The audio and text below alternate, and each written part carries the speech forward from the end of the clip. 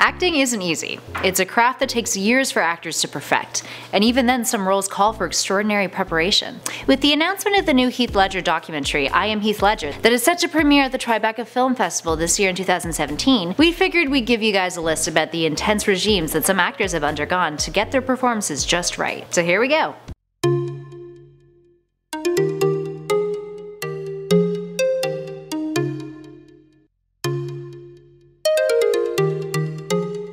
And at number 10 is Marlon Brando. No one can deny that Brando is one of the greatest actors of all time, and the way he's committed to some of his roles definitely shows it. You've probably heard of the whole cotton balls in the mouth stint that he pulled on The Godfather, but what you might not know is what he went through during the shoot of Apocalypse Now. Apocalypse Now, based on the novel Heart of Darkness by Joseph Conrad, had one hell of a production. The shoot was supposed to be 14 weeks long in the Philippines, beginning in the spring of 1976, but was massively delayed due to many factors, including a typhoon. Director Francis Ford Coppola was writing the film as they went along, and many of the cast and crew came down with serious illnesses. Plus, there was lots of coke. Like, a lot. Brando, during all this chaos, arrived midway through the shoot and had gained a lot of weight. He was approximately 300 pounds, which shocked everybody. Brando also hadn't learned his lines or undergone any prep for the character. This shut down production for about a week, leaving the 900 cast and crew waiting while Coppola personally read the script out loud to Brando. Brando then shaved off all of his hair and arrived at the idea that improvising all of his scenes was what he was going to do, and he demanded that he was only filmed in shadow because he was insecure about his weight. And at number 9 is Christian Bale. Christian Bale has gone through some pretty intense rituals for a few of his roles. One of the more glorified ones is his weight loss for The Machinist, where he dropped 60 pounds in order to play the part. Take a look at his normal physique compared to what he looked like in The Machinist. At 121 pounds, Bale had to undergo another intense weight gain in order to bulk up for the role he played directly afterwards.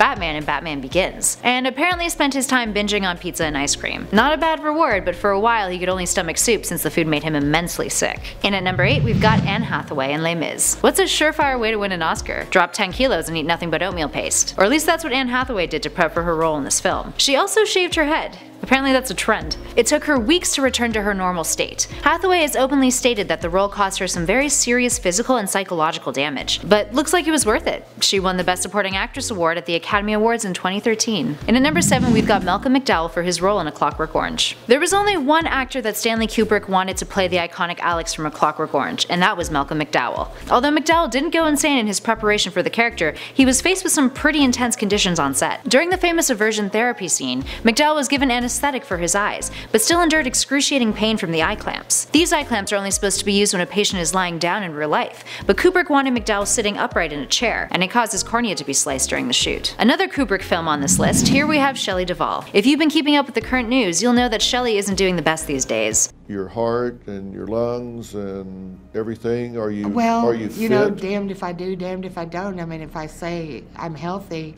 first thing they'll do is hurt me tonight. While there's many contributing factors to how the actor's mental state has deteriorated over the years, one of the most infamous stories was from the set of The Shining, and Kubrick's horrible treatment of her, which she has stated was unbearable. Kubrick made her cry almost 12 hours every day for 9 months straight, and would constantly ream her out in front of the rest of the cast and crew, which can actually be seen in his daughter's documentary of the making of the film. Oh Shelley, at least we'll always have this to remember you in happier times. Hello, I'm Shelley Duvall. Hello, I'm Shelley Duvall. I'm Shelley Duvall. And at 5 is Nicolas Cage for his role in Ghost Rider. While his face is mainly CGI during Ghost Rider, Nicolas Cage felt it was essential to get into character in other ways. Cage would wear makeup on his face in order to make himself look like a corpse. He also carried around Egyptian symbols in an attempt to invoke ghosts and spirits. He also refused to talk to his co-stars in between scenes. Rumors from the set claim that he scared the shit out of most of the cast and crew. Up next number 4 we've got Johnny Depp. Hunter S. Thompson was convinced that the only person who could play Duke in the adaptation of his Fear and Loathing in Las Vegas was Johnny Depp. This actually spawned a lifelong friendship between the two. Now if you've read any of Thompson's books or read up on any facts on him, it's no secret that he had a few screws loose. I mean, most great artists do. But in order to portray this character, Depp felt the need to sleep in Thompson's basement. He slept on a bed next to gunpowder and nitroglycerin, both of which are incredibly explosive, a fact that he was unaware of and also chain smoking while he was down there. He also dabbled in hard drugs while getting into the character, or so it's rumored. But I mean, take a look at his performance and tell me what you think. In at number 3 is Jared Leto for Suicide Squad. It was rumored he went full method acting on this one, to the point where he sent his castmates bizarre gifts. This included a box of bullets for Will Smith and a live rat for Margot Robbie, and a video that he sent the whole cast of him with a dead pig. This launched a debate amongst the acting community about the glorification of method acting and how it's becoming more of a marketing scheme riddled with ego as opposed to a finer selfless creative act. Many didn't like Leto's performance either, to which his response was that the way that the final cut of the film portrayed him was a disappointment. So what do you guys think of his take on the Joker?